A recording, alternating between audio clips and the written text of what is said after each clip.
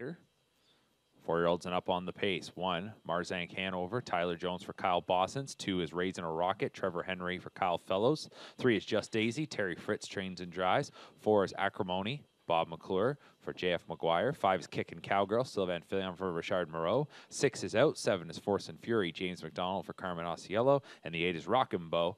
Dr. It'll be uh, John Flanagan for Catherine Flanagan. Gate picking up speed. Here they come.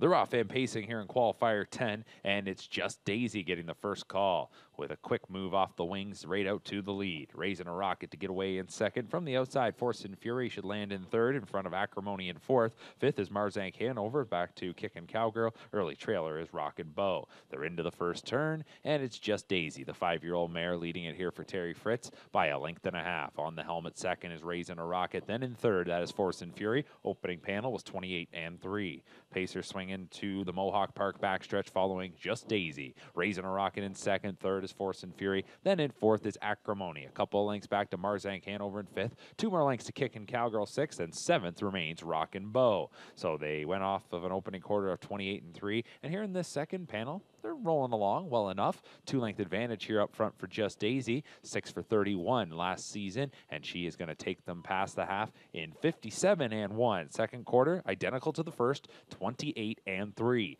Raising a Rocket remains in second. Force and Fury in third. Break of about six or seven going back to Acrimony in fourth. Another three lengths then to Marzank Hanover in fifth. Six is Kicking Cowgirl. And seventh remains Rockin' Bow. So the top three got a little bit of separation as they near the three quarter marker. Just Daisy by a length and a half. Raising a Rocket, that nine year old mare, she's just been tracking throughout. Might have something to say in the lane. While Force and Fury's three lengths from the front and third. 125 and three for three quarters. Off the turn and into the stretch. A 28 and two third quarter there. So some good fractions here through the opening three quarters of the mile. And here in the stretch drive now taking a shot. Coming to the outside, raising a rocket, but got to the wheel. Hasn't gotten any closer just yet. Just Daisy still with the lead. But here on the outside now, it is going to be a move coming here from Force and Fury. And Force and Fury's trying to get on by and will do just that. Force and Fury finishing second, just Daisy. Third was Raising a Rocket. Time of the mile, 154 and 3.